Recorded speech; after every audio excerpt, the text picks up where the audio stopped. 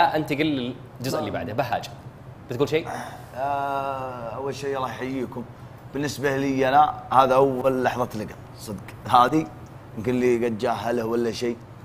هذه أول لحظة لقى البهاج في ال- البرنامج.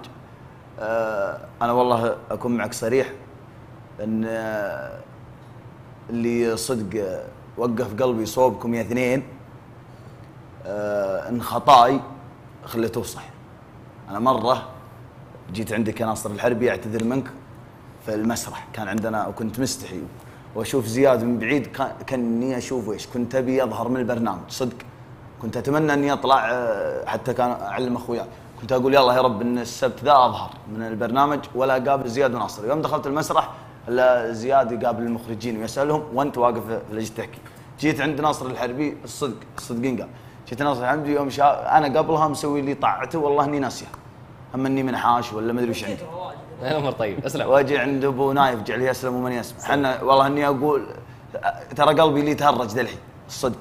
مو مو بلساني اللي يتهرج ترى قلبي في ذا جيت عند نصر الحربي ويوم شافني كأن يا ولد ارحب يتحفاني والله حيه. بغيت ابتسم شو قلت يا أبو نايف حط يده على نحري قال أسكت.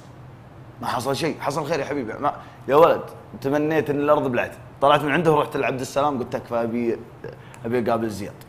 قال عادي روح له. قلت يمديك تمهد الدرب؟ قال يا ولد عند زياد روح. رحت لأبو سعد قلت يا أبو سعد أنا شو اسمه أنا أبي أعتذر لك على ما حصل. قال مهدي آه، زياد اللي حصل شنو؟ شيء طبيعي اللي حصل وعادي.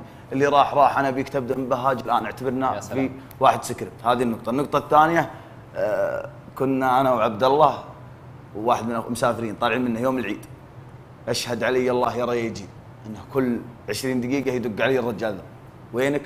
مع الديره الفلانية. كم تمشي؟ أمشي كذا. ناقصك دراهم توقع مدري وين. لا كان ما توصل إلا متأخر. ما عليك أنا بساعدك في الرجعة. بس أهم شيء توقع إنك توصل لك.